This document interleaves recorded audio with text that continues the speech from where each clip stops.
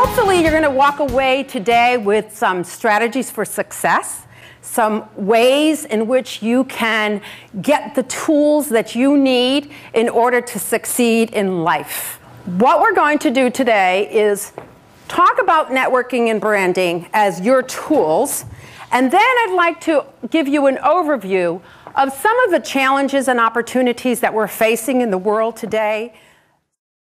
Branding of a company has value attached to it, right? When you see the Nike sign, what comes to mind?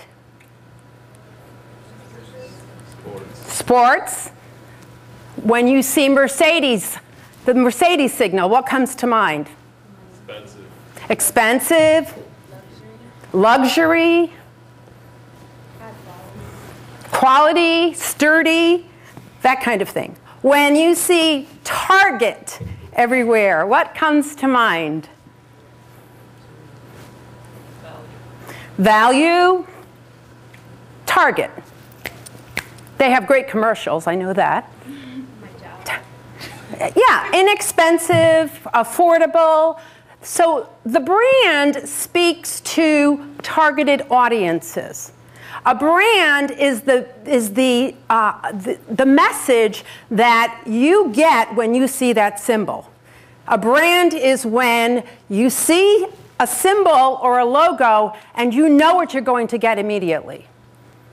So in branding, businesses and corporations, they have been able to build what is called brand equity.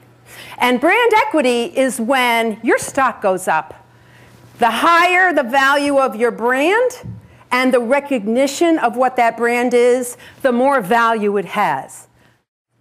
So just like a corporation and how they build brand through advertising, through community sponsorship events, we see, we see Target doing a lot of sponsorships in the community. We see companies like State Farm State Farm is one of the leading insurance companies in the country that has been able to corner the Hispanic market. Why?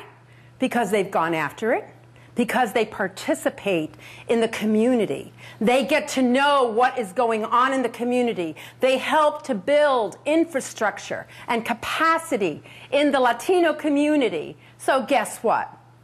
Latinos are known for being very loyal to companies and businesses that support them and that want to do business with them.